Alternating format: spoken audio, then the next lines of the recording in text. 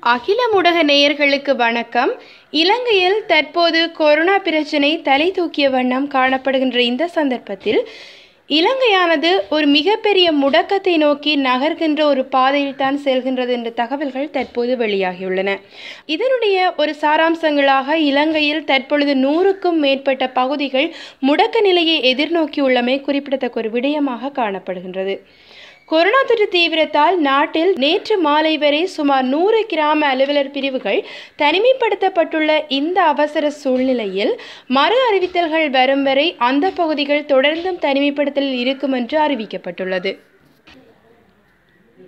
இந்த முடக்கு நிலை சார்பாக நாம் ஆராய்ந்து பார்க்கும் பொழுது கடந்த ஒரு வாரத்தில் மட்டும் நாட்டில் ஐந்தாயிரத்தி இருநூற்றி எழுபத்தி ஒரு தொற்றாளர்கள் இனம் காணப்பட்டுள்ள இந்த இக்கட்டான சூழ்நிலையில் எங்களுடைய நாடானது மெல்ல மெல்ல மிக பெரியதான ஒரு முடக்க நிலை அதாவது நாடு பூரான முடக்க நிலையை நோக்கி ஒரு நகர்வினை மேற்கொள்கின்றது என்பதை அறுதியிட்டு சுட்டிக்காட்டுவது எமக்கெல்லாம் விளங்குகின்றது.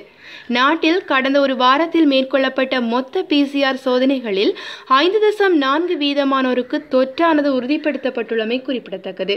அத்துடன் ஒரு நாளுக்கு நாள் இனம் காணப்படும் தொற்றாளர்களின் எண்ணிக்கையும் தற்பொழுது ஒரு ஏறுமுகத்தில் தான் சென்று கொண்டிருக்கின்றதும் உண்மைதான். அதனையடுத்து நாட்டில் பல்வேறுபட்ட கட்டுப்பாடுகள் கூட நடைமுறைப்படுத்தப்பட்டுள்ளன. அதாவது முகக்கவசம் அணிதல் கைகளை கழுவுதல் பல்வேறுபட்ட இடங்கள் முடக்கம் ஆகிய கட்டுப்பாடுகள் எல்லாம் விதிக்கப்பட்டுள்ள இந்த சூழல் சூழ்நிலையில் அதிக தொற்றாளர்கள் இனம் காணப்படும் பகுதிகள் முடக்கப்பட்டும் வருகின்றன. பகுதிகள் முடக்கப்பட்டு வருகின்ற இந்த சூழ்நிலையில் கடந்த சில தினங்களில் மட்டும் சுமார் நூறு கிராம அலுவலர் பிரிவுகள் இவ்வாறு முடக்கப்பட்டுள்ளமை குறிப்பிடத்தக்கது. திருகோணமலை காலி மாத்தளை குர்நாகல் களுத்துறை மற்றும் புலனறுவை ஆகிய மாவட்டங்களுக்குட்பட்ட கிராம சேவகர் பிரிவுகளே அதிகம் முடக்கப்பட்டுள்ள இந்த சூழ்நிலையில் குர்நாகல் மாவட்டத்தில் குளியாப்பிட்டிய போலீஸ் பிரிவிலேயே அதிகளவான கிராம சேவகர் பிரிவுகள் தனிமைப்படுத்தப்பட்டுள்ளன. பொலனர்வை மாவட்டத்தில் கிரிகந்த கிராம சேவகர் பிரிவும் மாத்தளை மாவட்டத்தில் பெல்லையகும்பரை கிராம சேவகர் பிரிவும் காலை மாவட்டத்தில் இரு பிரிவுகளும் நேற்று காலை ஆறு மணி முதல் தனிமைப்படுத்தப்பட்டுள்ள இந்த சூழ்நிலையில் கொரோனா வைரஸ் தொற்றை தடுக்கவே இந்த நடவடிக்கைகள் எல்லாம் நாட்டில் மேற்கொள்ளப்பட்டு வருகின்றமை குறிப்பிடத்தக்கது. மேலும் நாட்டின் ஏதேனும் ஒரு பகுதியில் கொரோனா தொற்று அபாயம் இருப்பின் அந்த பகுதிகள் முழு முழுவதும் தனிமைப்படுத்தப்படும் என்று அதிகாரிகள் கூட எச்சரிக்கை விடுத்துள்ளார்கள். மேலும் இந்த சூழ்நிலையில் ஏப்ரல் இருபத்தி ஒன்று உயிர்த்த ஞாயிறு தாக்குதல் சார்பான உண்மையை பகிரங்கப்படுத்துவோம் என்று ஆயர் சபையை எதிர்க்கட்சி அழைத்து நிற்கின்றது. அதாவது நாட்டில் நடாத்தப்பட்ட ஏப்ரல் இருபத்தி ஒன்று ஈஸ்டர் குண்டு தாக்குதலின் உண்மை காரணிகளை எல்லாம் நாட்டு மக்களுக்கு பகிரங்கப்படுத்த வேண்டுமென்றும் அந்த எதிர்க்கட்சி கேட்டுக்கொண்டுள்ள அதேவேளை இதற்கு எதிர்த்தரப்பினர் முன்னெடுக்கும் முயற்சிகளுக்கு அகில இலங்கை ஆயர் சபையும் தங்களுடைய ஒத்துழைப்பை வழங்க வேண்டும் என்று எதிர்க்கட்சி ஆயர் சபையை அழைத்து நிற்கின்றது. இவ்வாறு ஐக்கிய மக்கள் சக்தியின் பாராளுமன்ற உறுப்பினரான லக்ஷ்மண் கிரியல்ல ஆயர் சபையிடம் எழுத்து மூலமான பாரிய கோரிக்கை ஒன்றை தற்போது முன்வைத்துள்ளதாக செய்திகள் வெளியாகியுள்ளன. ஆயர் சபை தலைவருக்கு அனுப்பியுள்ள அந்த மாபெரும் கடிதத்தில் ஏப்ரல் இருபத்தி ஒன்று குண்டு தாக்குதல் சம்பவம் இடம்பெற்று இரண்டு வருடங்கள் நிறைவடைந்துள்ள இந்த நிலையில் குண்டு தாக்குதலுடைய உண்மையான சூத்திரதாரி கண்டறியப்படாமல் இருப்பது கவலைக்குரியது. குண்டு தாக்குதலுக்கு பொறுப்பு கூற வேண்டியவர்களுக்கு கடுமையான தண்டனைகள் வழங்கப்பட வேண்டும் என்றும் அந்த கடிதத்தில் கேட்டுக்கொள்ளப்பட்டுள்ளது. இவை மட்டுமல்லாமல் ஏப்ரல் இருபத்தி ஒன்று தாக்குதல் சம்பவத்தின் பிரதான சூத்திரதாரி உள்ளிட்ட அனைத்து காரணிகளையும் கத்தோலிக்க மக்கள் மாத்திரமல்ல ஒட்டு ஒட்டுமொத்த மக்களும் அறிந்து கொள்ளுதல் அவசியமாகும் என்று லக்ஷ்மண் கிரியல்ல கேள்வி எழுப்பியுள்ளார். மேலும் ஏப்ரல் இருபத்தி ஒன்று குண்டு தாக்குதலின் பின்னணியில் உள்ள மர்ம ரகசியங்களை வெளிக்கொண்டு வர எதிர்த்தரப்பினர் குரல் கொடுத்தும் வருகின்றார்கள். உண்மை காரணிகளை எல்லாம் பகிரங்கப்படுத்துவதை விடுத்து அரசு எதிர்த்தரப்பினரை அடக்க முயற்சிகள் கூட செய்து வருகின்றது. அதனால் சம்பவம் சார்பாக அகில இலங்கை ஆயர்கள் சபையுடன் எதிர்க்கட்சியின் பாராளுமன்ற உறுப்பினர்கள் பேச்சை முன்னெடுக்க வேண்டும் என்றும் அதற்கு அனுமதி வழங்குமாறு கோரிக்கை விடுக்கின்றோம் என்று அகில இலங்கை ஆயர் சபையிடம் எதிர்க்கட்சி பாரிய கோரிக்கையொன்றை முன்வைத்துள்ளது. இதுபோலவே ஈஸ்டர் தாக்குதலுடன் தொடர்பட்ட மேலும் சிலர் கைது செய்யப்படுவார்கள் என்று மொட்டு கட்சியின் எம்பி சஹான் பிரதீப் ஒரு தெரிவிப்பொன்றை விடுத்துள்ளார்.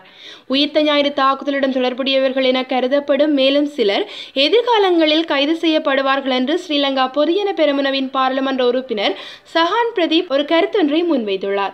இவை சார்பாக அவர் மேலும் தெரிவிக்கும் பொழுது குற்றப்புலனாய்வு பிரிவு மற்றும் உயிர்த்த ஞாயிறு தாக்குதல் குறித்து விசாரணை செய்த ஜனாதிபதி ஆணைக்குழு ஆகியவற்றின் பரிந்துரைக்கு அமையவே பாராளுமன்ற உறுப்பினர் உறுப்பினரான ரிசான் பதியுதீன் கைது செய்யப்பட்டுள்ளார்.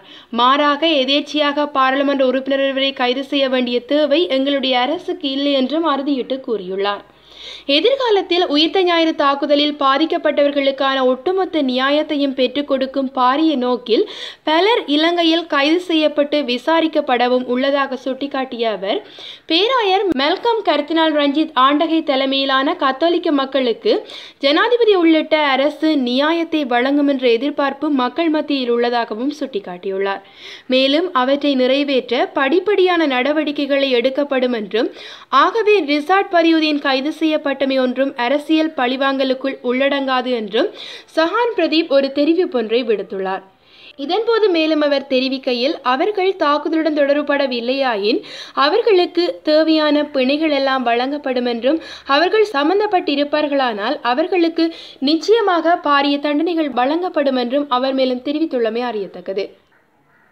இதே நேரம் தற்பொழுது இலங்கையில் பயங்கரவாத தடை சட்டத்தின் கீழ் பல்வேறுபட்ட நபர்கள் கைது செய்யப்பட்டு வருகின்ற இந்த சூழ்நிலையில் இந்த பயங்கரவாத குற்றவாளிகள் யாவரும் பூசா சிறைக்கு மாற்றம் பெற உள்ளதாக ஒரு செய்திகள் வெளியாகியுள்ளன. நாடு முழுவதும் உள்ள சிறைச்சாலைகளில் தற்போது தடுத்து வைக்கப்பட்டுள்ள சுமார் முப்பது பயங்கரவாத குற்றவாளிகள் பூசா உயர் பாதுகாப்பு சிறைக்கு மாற்றப்பட உள்ளார்கள். பூசா சிறைச்சாலையில் உள்ள செல்களின் எண்ணிக்கை எழுபத்தி ஆறாக உயர்த்தப்பட்டுள்ள நிலையில் முன்னதாக பூசா சிறைச்சாலையில் நாற்பத்தி ஆறு கைதிகளை தக்க வைக்கும் செல்கள் தான் காணப்பட்டன. தற்பொழுது கூடுதலாக முப்பது செல்கள் அமைக்கப்பட்டு அதற்கமைவாக மோசமான பாதாள உலக குற்றவாளிகள் ஒழுங்கமைக்கப்பட குற்றங்களில் ஈடுபடும் குற்றவாளிகள் மற்றும் போதைப்பொருள் கடத்தல்காரர்களுக்கும் இந்த சிறைக்கு மாற்றப்பட உள்ளார்கள். இது மட்டுமல்லாமல் பூசா சிறைச்சாலையில் உயர் தொழில்நுட்ப கண்காணிப்பு உபகரணங்கள் அமைக்கப்பட்டுள்ள நிலையில் தற்பொழுது கஞ்சிபானை இம்ரான் வெலசுதா ஹொஸ்கோட தாரக மற்றும் பொடிலெசி போன்ற கடுமையான குற்றவாளிகளும் பூசா சிறையில் தடுத்து வைக்கப்பட்டுள்ளமை குறிப்பிடத்தக்கது. மேலும் தற்பொழுது சட்டவிரோத மண்ணகழ்வு காடழிப்பு போன்ற பல்வேறுபட்ட பிரச்சனைகள் இலங்கையில் காணப்படுகின்ற இந்த சூழ்நிலையில் கிளிநொச்சி வெண்ணெறி குளத்தின் ஆற்றுப்படுக்கையில் இருந்து தொடர்ச்சியாக இடம்பெற்று வரும் சட்டவிரோத மணலகழ்வை கட்டுப்படுத்துமாறு பொதுமக்கள் பாரிய கோரிக்கை ஒன்றை முன்னெடுத்துள்ளார்கள். அவர்கள் மேலும் தெரிவிக்கையில் கடந்த பத்து ஆண்டுகளாக வெண்ணெறி குளத்தின் சூழலிலும் அதனை அண்டிய பகுதிகளிலும் தொடரும் மண்ணகழ்வால் வெண்ணெறி குளத்தின் கீழான பயிர் செய்கை பகுதிகள் மிக பெரும் பாதிப்பை எதிர்கொண்டுள்ளன. வெண்ணெறி குளத்தில் இருந்து அகழப்படும் செல்லப்படும் மணல் ஜெயபுரம் வழியாக வெளியிடங்களுக்கு கொண்டு செல்லப்படும் சூழ்நிலையில் வெண்ணெறி குளத்துக்கு வருகை தரும் பாராளுமன்ற உறுப்பினர்கள் மற்றும் உயர் அதிகாரிகள் ஆகியோரிடம் இந்த பிரதேசத்தில் நடைபெறும் மண்ணகல்வு சார்பாக தொடர்ச்சியாக முறைப்பாடுகள் செய்யப்பட்டும் ஆக்கப்பூர்வமான நடவடிக்கைகள் எடுக்கப்படவில்லை என்றும் அந்த மக்கள் குற்றம் சாட்டியுள்ளார்கள்.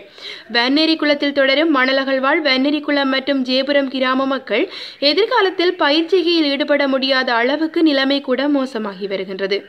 மணலகல்வை ஏற்படுத்தாவிட்டால் எதிர்காலத்தில் இந்த பிரதேசம் பயிற்சிகை மேற்கொள்ள முடியாத பகுதியாக மாறிவிடும். இதனை விட வெண்ணேரி குளம் மற்றும் தேவன்குளம் ஆகிய குளங்களில் அணைக்கட்டுகளுக்கும் ஆபத்துகள் ஏற்பட்டு வருகின்றதாக அந்த பிரதேசவாசிகள் கடுமையான கோரிக்கை ஒன்றையும் முன்வைத்துள்ளார்கள். இதே நேரம் இலங்கையில் அடுத்த விவகாரமாக துறைமுக நகர விவகாரம் நடைபெற்று வருகின்ற சூழ்நிலையில் துறைமுக நகர பொருளாதார ஆணைக்குழு சட்டவரைவு சார்பாக மகா சங்கத்தினருக்கும் தேசிய பிக்கு முன்னணிக்கும் இடையே மிக பாரியதொரு கருத்து வேறுபாடொன்று உருவாகியுள்ளது. உருவாகியுள்ளது ஜனாதிபதி கோத்தபாயவுடனான கலந்துரையாடலை தொடர்ந்து கொழும்பு துறைமுக நகர பொருளாதார ஆணைக்குழு சட்டப்பேரவை ஆதரித்து மகா சங்கத்தினர் கருத்துக்களை வெளியிட்டிருந்தார்கள். இவ்வாறானதொரு நிலையில் தேசிய பிக்கு முன்னணி அவற்றுக்கு கடுமையான கண்டனம் வெளியிட்ட சூழ்நிலையில் நாட்டுக்கு எதிரான செயற்பாடுகளில் மகா சங்கத்தினரை பங்குதாரர்களாக்குவது பௌத்த சாசனத்துக்கு முரணானது. அரசியல்வாதிகள் குறுகிய நோக்கங்களை அடிப்படையாக கொண்டு செயற்படுபவர்கள் நாட்டின் எதிர்காலம் சார்பாக மகா சங்கத்தினருக்கு பௌத்த சாசனத்தினூடாக அதிக பொறுப்புகள் வழங்கப்பட்டுள்ளன. எனவே அவற்றை செயற்படுத்த மகாசங்கத்தினர் கூடிய கவனம் செலுத்த வேண்டும் என்று தேசிய பிக்கு முன்னணியின் செயலாளர் வகமுல்லை உதித்த தேரர் தெரிவித்திருந்தார். இதன்போது அவர் மேலும் கூறியுள்ளதாவது கொழும்பு துறைமுக நகர பொருளாதார ஆணைக்குழு சட்டவரைவு சார்பாக அரசுக்குள்ளே இருவேறுபட்ட நிலைப்பாடுகள் காணப்படுகின்றன. மக்களின் அரசியல் சிந்தனையை திசை திருப்புவதற்காக அரசியல்வாதிகள் இருவேறுபட்ட கொள்கைகளை கொண்டுள்ளார்கள்.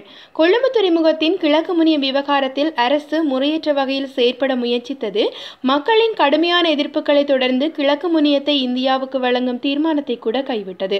நாட்டின் தேசிய வளங்களை புறநாட்டவர்களுக்கு வழங்கும் கொள்கையில் அரசு தற்போது உறுதியாக உள்ளது என்றும் கொழும்பு துறைமுக நகர பொருளாதார ஆணைக்குழு சட்டவரைவு தொடர்பில் மாறுபட்ட கருத்துக்கள் தோற்றம் பெற்றுள்ளன. அரசுக்கு ஆதரவு வழங்கிய மத தலைவர்களும் அரசியல்வாதிகளும் சட்டவரைவுக்கு எதிராக நீதிமன்றத்தை கூட நாடியுள்ளார்கள். எனவே இவை சார்பாக மகா சங்கத்தினர் முதலில் கூடியளவு தெளிவை பெற வேண்டும் என்று தேசிய பீக்கு முன்னணிகளின் சபை மகா சங்கத்துக்கு எதிராக கடுமையான கண்டனங்களை வெளியிட்டிருந்த காரணத்தால் பிக்குகளிடையே மிக பாரிய கடுமையான மோதல் ஒன்று ஏற்பட்டுள்ள காரணத்தால் அரசு மிகப்பெரிய நெருக்கடிக்குள் தள்ளப்பட்டிருப்பது என்பதுதான் உண்மை. இதுபோன்ற தகவல்களை உடனுக்குடன் அறிந்து கொள்ள அகில ஊடகத்தோடு இணைந்திருங்கள். நன்றி. அகிலம் மாற்றத்திற்கான மக்கள் குரல். இந்த வீடியோ பிடிச்சிருந்தா லைக் பண்ணுங்க கமெண்ட் பண்ணுங்க ஷேர் பண்ணுங்க. மறக்காம கீழே இருக்க பெல் ஐகானை கிளிக் பண்ணுங்க.